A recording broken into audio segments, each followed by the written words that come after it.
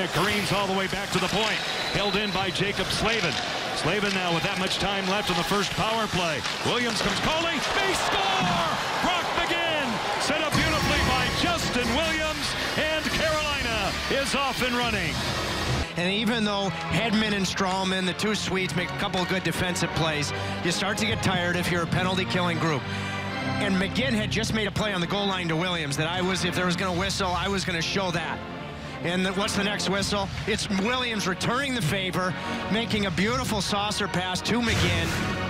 And that would have been a much easier finish if McGinn was a righty, not a lefty. It's a beautiful finish to beat Vasilevskiy and a power play goal to kickstart the night.